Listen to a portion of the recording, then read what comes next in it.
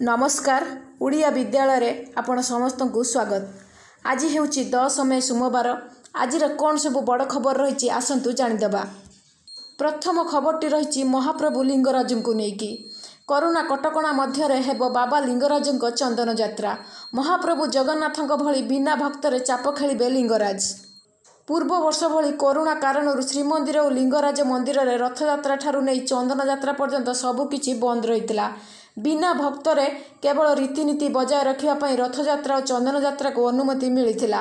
ଚଳିତ ଥର ମଧ୍ୟ ସମାନ ଭାବରେ କରୋନା ମହାମାରୀର ଦ୍ୱିତୀୟ ଲହରରେ ସଂକ୍ରମଣ ଭୟ ସବୁକିଛି ଫିକା ପକାଇବାକୁ ଯାଉଛି। ପୂର୍ବ ବର୍ଷ ଭଳି ଏବର୍ଷ ବି ବାବା ଲିଙ୍ଗରାଜଙ୍କ ଚନ୍ଦନ ଯାତ୍ରା କରୋନା କଟକଣା ମଧ୍ୟରେ ସୀମିତ ସେବାୟତକୁ ନେଇ ବିନା ଭକ୍ତରେ ଅନୁଷ୍ଠିତ ହେବାକୁ ଯାଉଛି। ଏନେଇ ଗତକାଲି ମନ୍ଦିର ପ୍ରଶାସନ ଓ ବିଏମ୍ସି ପକ୍ଷରୁ ନିଷ୍ପତ୍ତି ନିଆଯାଇଛି। ପରବର୍ତ୍ତୀ ନ୍ୟୁଜ୍ଟି ରହିଛି ରଘୁନାଥ ମହାପାତ୍ରଙ୍କ ବିୟୋଗରେ ବିଶିଷ୍ଟ ବ୍ୟକ୍ତିଙ୍କ ଶୋକ ପ୍ରକାଶ ପଦ୍ମଭୂଷଣ ଓ ପଦ୍ମ ବିଭୂଷଣ ବିଶିଷ୍ଟ ଭାସ୍କର୍ଯ୍ୟ ଶିଳ୍ପୀ ତଥା ସାଂସଦ ରଘୁନାଥ ମହାପାତ୍ରଙ୍କର ଗତକାଲି ଭୁବନେଶ୍ୱର ଏମ୍ସରେ କରୋନାରେ ପରଲୋକ ହୋଇଛି। ଗତକାଲି ପ୍ରାୟ ତିନିଟା ପଚାଶ ସମୟରେ ତାଙ୍କର ମୃତ୍ୟୁ ହୋଇଥିବା ଭୁବନେଶ୍ୱର ଏମ୍ସ ପକ୍ଷରୁ ସୂଚନା ଦିଆଯାଇଛି। ରଘୁନାଥ କରୋନାରେ ଆକ୍ରାନ୍ତ ହୋଇ ମେଡିକାଲରେ ଭର୍ତ୍ତି ହେବା ପରେ ପ୍ରଧାନମନ୍ତ୍ରୀ ନରେନ୍ଦ୍ର ମୋଦି ଫୋନ୍ କରି ତାଙ୍କର ସ୍ୱାସ୍ଥ୍ୟ ଅବସ୍ଥାରେ ତଦାରଖ କରିଥିଲେ। ତେବେ ରଘୁନାଥ ଓଡ଼ିଶାର ଦ୍ୱିତୀୟ କୋଣାର୍କ ଗଢ଼ିବାର ସ୍ୱପ୍ନ ଦେଖିଥିଲେ ଯାହା ଗତକାଲି ତାଙ୍କ ମୃତ୍ୟୁ ସହିତ ସ୍ୱପ୍ନରେ ରହିଯାଇଛି। ତେବେ ରଘୁନାଥ ମହାପାତ୍ରଙ୍କ ମୃତ୍ୟୁରେ ପ୍ରଧାନମନ୍ତ୍ରୀଙ୍କ ଠାରୁ ଆରମ୍ଭ କରି ମୁଖ୍ୟମନ୍ତ୍ରୀ ପର୍ଯ୍ୟନ୍ତ ବିଭିନ୍ନ ବରିଷ୍ଠ ବ୍ୟକ୍ତି ଶୋକ ପ୍ରକାଶ କରିଛନ୍ତି। ପରବର୍ତ୍ତୀ ନ୍ୟୁଜ୍ଟି ରହିଛି ଲକଡାଉନ୍ ସମୟରେ ବୁଲା ଗାଈ କୁକୁରଙ୍କୁ ଖାଦ୍ୟ ପାଇଁ ମୁଖ୍ୟମନ୍ତ୍ରୀଙ୍କ ରିଲିଫ୍ ପାଣ୍ଠିରୁ ଷାଠିଏ ଲକ୍ଷ ଟଙ୍କା ସହାୟତା। କୋଭିଡ୍ ମହାମାରୀ ନିୟନ୍ତ୍ରଣ ପାଇଁ ବର୍ତ୍ତମାନ ସାରା ରାଜ୍ୟରେ ଲକଡାଉନ୍ ଜାରି ରହିଛି। ଏହି ପରିପ୍ରେକ୍ଷୀରେ ବୁଲା ଗାଈ ଗୁରୁ କୁକୁର ଆଦି ପ୍ରାଣୀମାନଙ୍କୁ ଖାଦ୍ୟ ସମସ୍ୟା ସମ୍ମୁଖୀନ ହେଉଛନ୍ତି। ଏହାକୁ ଦୃଷ୍ଟିରେ ରଖି ମୁଖ୍ୟମନ୍ତ୍ରୀ ଶ୍ରୀ ନବୀନ ପଟ୍ଟନାୟକ ତାଙ୍କ ରିଲିଫ୍ ପାଣ୍ଠିରୁ ପାଞ୍ଚ ମହାନଗର ନିଗମ ଅଠଚାଳିଶଟି ମ୍ୟୁନିସିପାଲିଟି ଓ ଏକୋଇଶଟି ଟିଏନ୍ସିମାନଙ୍କୁ ଷାଠିଏ ଲକ୍ଷ ଟଙ୍କା ସହାୟତା ମଞ୍ଜୁର କରିଛନ୍ତି। ଏହି ଅର୍ଥରେ ସେମାନେ ବିଭିନ୍ନ ସ୍ୱେଚ୍ଛାସେବୀ ଅନୁଷ୍ଠାନମାନଙ୍କ ଜରିଆରେ ବୁଲା ପ୍ରାଣୀମାନଙ୍କୁ ଖାଦ୍ୟ ଯୋଗାଇ ଦେବେ ପରବର୍ତ୍ତୀ ନ୍ୟୁଜ୍ଟି ରହିଛି ବର୍ଷାକୁ ନେଇ। ଆସନ୍ତା ଚବିଶ ଘଣ୍ଟା ମଧ୍ୟରେ ରାଜ୍ୟରେ କାଳବୈଶାଖୀ ସମ୍ଭାବନା। ଉଣେଇଶଟି ଜିଲ୍ଲାକୁ ୟେଲୋ ୱାର୍ଣ୍ଣିଂ ଜାରି କଲା ପାଣିପାଗ କେନ୍ଦ୍ର। ରାଜ୍ୟରେ ଏବେ ତାପମାତ୍ରାରେ ଅପେକ୍ଷାକୃତ କମ୍ ରହିଥିଲା ବେଳେ ପୁଣି ଆସନ୍ତା ଚବିଶ ଘଣ୍ଟା ମଧ୍ୟରେ ରାଜ୍ୟରେ କାଳବୈଶାଖୀ ସମ୍ଭାବନା ରହିଛି। ଏଥିପାଇଁ ରାଜ୍ୟର ଉଣେଇଶଟି ଜିଲ୍ଲାକୁ ଭୁବନେଶ୍ୱର ଆଞ୍ଚଳିକ ପାଣିପାଗ ବିଜ୍ଞାନ କେନ୍ଦ୍ର ପକ୍ଷରୁ ୟେଲୋ ୱାର୍ଣ୍ଣିଂ ଜାରି କରାଯାଇଛି। ଏହି ଜିଲ୍ଲାଗୁଡ଼ିକ ଗୋଟିଏରୁ ଦୁଇଟି ସ୍ଥାନରେ ଘଡ଼ଘଡ଼ି ସହ ବର୍ଷା ହେବାର ସମ୍ଭାବନା ନେଇ ପାଣିପାଗ କେନ୍ଦ୍ର ସୂଚନା ଦେଇଛି। ବଜ୍ରପାତ ଓ କାଳବୈଶାଖୀ ସମ୍ଭାବନା ନେଇ ୟେଲୋ ୱାର୍ଣ୍ଣିଂ ଥିବା ଜିଲ୍ଲାଗୁଡ଼ିକ ମଧ୍ୟରେ ବାଲେଶ୍ୱର ଭଦ୍ରକ ଯାଜପୁର କେନ୍ଦ୍ରାପଡ଼ା କଟକ ଜଗତସିଂହପୁର ଝାରସୁଗୁଡ଼ା ସୁନ୍ଦରଗଡ଼ ଦେବଗଡ଼ କେନ୍ଦୁଝର ମୟୂରଭଞ୍ଜ ଅନୁଗୁଳ ଢେଙ୍କାନାଳ ବରଗଡ଼ ସମ୍ବଲପୁର କୋରାପୁଟ ମାଲକାନଗିରି ରାୟଗଡ଼ା ଓ କନ୍ଧମାଳ ଆଦି ରହିଛି। ଏହିସବୁ ଜିଲ୍ଲାରେ ଗୋଟିଏ ଦୁଇଟି ସ୍ଥାନରେ ଆସନ୍ତା ଚବିଶ ଘଣ୍ଟା ମଧ୍ୟରେ ତିରିଶରୁ ଚାଳିଶ କିଲୋମିଟର ବେଗରେ ପବନ ରହିବାର ସମ୍ଭାବନା ରହିଛି। ପରବର୍ତ୍ତୀ ନ୍ୟୁଜ୍ଟି ରହିଛି ମାସ୍କ ଚେକିଂ ବେଳେ ପୋଲିସ ଉପରକୁ ଧାରୁଆ ଅସ୍ତ୍ରରେ ଆକ୍ରମଣ କଲା ଯୁବକ। ପୁରୀ ଜିଲ୍ଲା ବଳଙ୍ଗା ବଜାରରେ ମାସ୍କ ଚେକିଂ ବେଳେ ପୋଲିସ ଉପରକୁ ଆକ୍ରମଣ ହୋଇଛି। ସୂଚନା ଅନୁସାରେ ଗତକାଲି ସପ୍ତାହାନ୍ତ ସଟ୍ଡାଉନ୍ ଥିଲାବେଳେ ବଳଙ୍ଗା ବଜାରରେ ଅଜୟ ପ୍ରଧାନ ନାମକ ଜଣେ ଯୁବକ ସାଇକେଲରେ ଏକ କଦଳୀ କାନ୍ଦି ଧରି ବିନା ମାସ୍କରେ ଆସୁଥିଲେ। ପୋଲିସ ତାଙ୍କୁ ଅଟକାଇ ସଟ୍ଡାଉନ୍ ସମୟରେ କୁଆଡ଼େ ଯାଉଛି ବୋଲି ପଚାରିବାରୁ ପୋଲିସ ସହ ଯୁକ୍ତିତର୍କ କରିବା ସହ ପାଖରେ ଥିବା ଏକ ଧାରୁଆ ଅସ୍ତ୍ରରେ ଯୁବକ ଜଣକ ପୋଲିସକୁ ଆକ୍ରମଣ କରିଥିଲେ। ପରେ ଅନ୍ୟ ଅନ୍ୟ ପୋଲିସ କର୍ମଚାରୀ ମିଶି ଯୁବକ ଜଣକୁ କାବୁ କରିଥିଲେ। ଏଥିରେ ଜଣେ ପୋଲିସ କର୍ମଚାରୀ ଆହତ ହୋଇଥିବା ବେଳେ ଆକ୍ରମଣ କରିଥିବା ଯୁବକଙ୍କୁ ବଳଙ୍ଗା ପୋଲିସ ଗିରଫ କରିଛି। ପରବର୍ତ୍ତୀ ନ୍ୟୁଜ୍ରେ ରହିଛି କେନ୍ଦ୍ରମନ୍ତ୍ରୀ ପ୍ରତାପ ଷଡ଼ଙ୍ଗୀଙ୍କ ଗାଡ଼ି ଦୁର୍ଘଟଣାଗ୍ରସ୍ତ। ଟ୍ରାକ୍ଟର ସହ ମୁହାଁମୁହିଁ ଧକ୍କା ହେଲା କେନ୍ଦ୍ରମନ୍ତ୍ରୀଙ୍କ ଗାଡ଼ି। କେନ୍ଦ୍ରମନ୍ତ୍ରୀ ପ୍ରତାପ ଷଡ଼ଙ୍ଗୀଙ୍କ ଗାଡ଼ି ଦୁର୍ଘଟଣାଗ୍ରସ୍ତ। ଅଳ୍ପକେ ବର୍ତ୍ତିଲେ କେନ୍ଦ୍ରମନ୍ତ୍ରୀ। ନୀଳଗିରି ପଡ଼ାଶୁଳ ଛକରେ ଏକ ଟ୍ରାକ୍ଟର ସହ ମୁହାଁମୁହିଁ ଧକ୍କା ହେଲା କେନ୍ଦ୍ରମନ୍ତ୍ରୀଙ୍କ ଗାଡ଼ି। ଏବେ କାର୍ଯ୍ୟକ୍ରମରେ ଯୋଗ ଦେବାକୁ ଯାଉଥିବା ସମୟରେ ଏଭଳି ଦୁର୍ଘଟଣାର ଶିକାର ହୋଇଛନ୍ତି କେନ୍ଦ୍ରମନ୍ତ୍ରୀ ପ୍ରତାପ ଷଡ଼ଙ୍ଗୀ। ଏହି ଦୁର୍ଘଟଣାରେ ମନ୍ତ୍ରୀ ସାମାନ୍ୟ ଭାବରେ ଆହତ ହୋଇଥିବା ସୂଚନା ରହିଛି। ପରବର୍ତ୍ତୀ ନ୍ୟୁଜ୍ରେ ରହିଛି ଛତିଶଗଡ଼ରେ ମଦର ହୋମ୍ ଡେଲିଭରିକୁ ସରକାରଙ୍କ ଅନୁମୋଦନ। କରୋନା ସମ୍ପୂର୍ଣ୍ଣ ଦେଶ ଆଂଶିକ ଲକଡାଉନ୍ ଥିଲାବେଳେ କିଛି ରାଜ୍ୟ ସରକାର କରୋନାର ଦ୍ରୁତ ସଂକ୍ରମଣକୁ ରୋକିବା ଲାଗି ରାଜ୍ୟରେ ଶକ୍ତ କଟକଣା ଲାଗୁ କରିଛନ୍ତି। ତେବେ ଲକଡାଉନ୍ ସମୟରେ ବିଭିନ୍ନ ସମସ୍ତ ରାଜ୍ୟ ଲୋକମାନଙ୍କର ଅତ୍ୟାବଶ୍ୟକ ସାମଗ୍ରୀ ବିକ୍ରୟକୁ ସାମାନ୍ୟ କଟକଣା ଭିତରେ ଅନୁମୋଦନ ପ୍ରଦାନ କରିଥିଲା ବେଳେ ଏବେ ଛତିଶଗଡ଼ ସରକାର ରାଜ୍ୟରେ ମଦର ହୋମ୍ ଡେଲିଭରିକୁ ଅନୁମୋଦନ ଦିଆଯାଇଛି। ପରବର୍ତ୍ତୀ ନ୍ୟୁଜ୍ଟି ରହିଛି କୋଭିଡ୍ ସମ୍ବନ୍ଧୀୟ ସମସ୍ତ ଔଷଧ ଓ ମେଡିକାଲ ଉପକରଣ ଆମଦାନୀ ଉପରୁ ଜିଏସ୍ଟି ଓ କଷ୍ଟମ ଡ୍ୟୁଟି ଛାଡ଼ କରାଯାଉଥିବା ନେଇ ସ୍ପଷ୍ଟ କଲେ କେନ୍ଦ୍ର ଅର୍ଥମନ୍ତ୍ରୀ।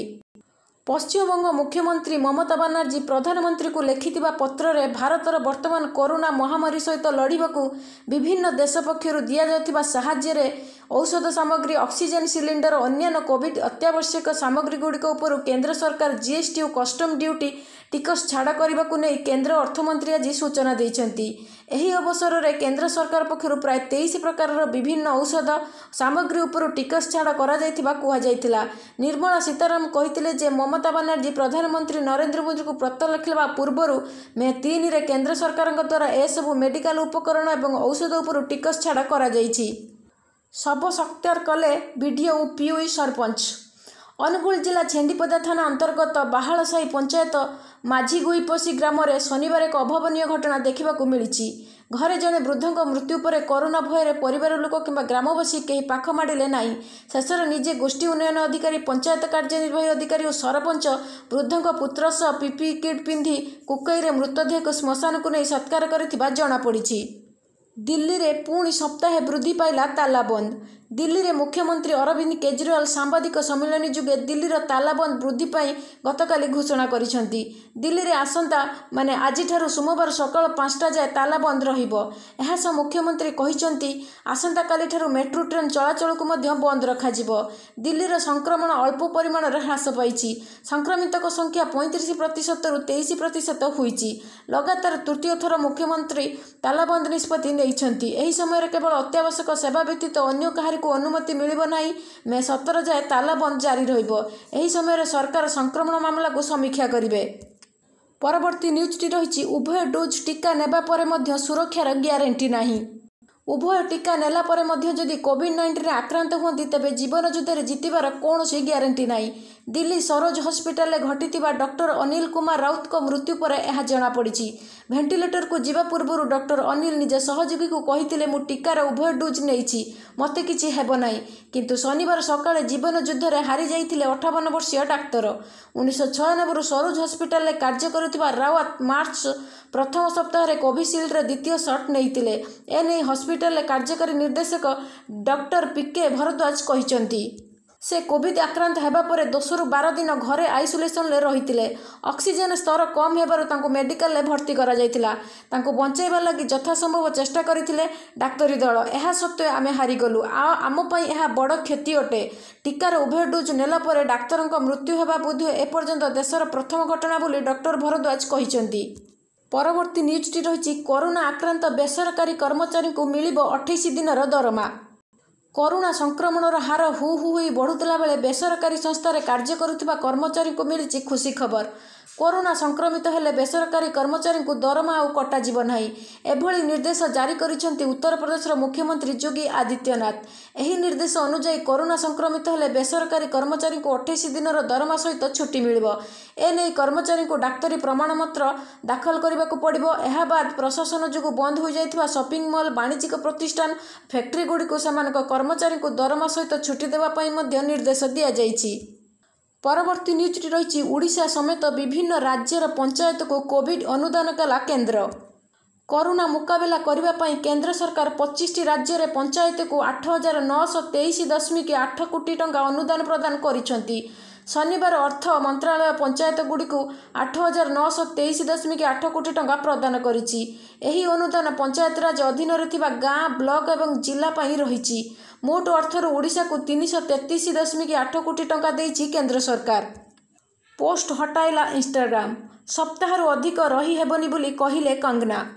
ଟ୍ୱିଟର ପରେ ଏବେ ବଲିଉଡ୍ ଅଭିନେତ୍ରୀ କଙ୍ଗନା ରାଉତଙ୍କ ଆକାଉଣ୍ଟକୁ ସବୁଦିନ ପାଇଁ ବନ୍ଦ କରିପାରେ ଇନଷ୍ଟାଗ୍ରାମ ଏଭଳି ଆଶଙ୍କା କରୁଛନ୍ତି ନିଜେ କଙ୍ଗନା। କରୋନା ଆକ୍ରାନ୍ତ ଥିବା ନେଇ ସେ କରିଥିବା ପୋଷ୍ଟ ହଟାଯିବା ପରେ ଏବେ କଙ୍ଗନା ଏଭଳି ଆଶଙ୍କା କରୁଛନ୍ତି। ଏନେଇ ସେ ନିଜ ଇନଷ୍ଟାଗ୍ରାମ ଷ୍ଟାଟସରେ ଲେଖିଛନ୍ତି। ସେ ଦାବି କରିଛନ୍ତି ଯେ କରୋନା ଆକ୍ରାନ୍ତ ହେବା ନେଇ ସେ କରିଥିବା ପୋଷ୍ଟ ହଟାଯିବା ସହ ଏହି ସୂଚନା କୋଭିଡ୍ ଫ୍ୟାନ୍ କ୍ଲବ ଦ୍ୱାରା ଦିଆଯିବା ଉଚିତ ବୋଲି ତାଙ୍କୁ କୁହାଯାଇଛି। ଏହା ଥିଲା ଆଜିର କିଛି ମୁଖ୍ୟ ଖବର।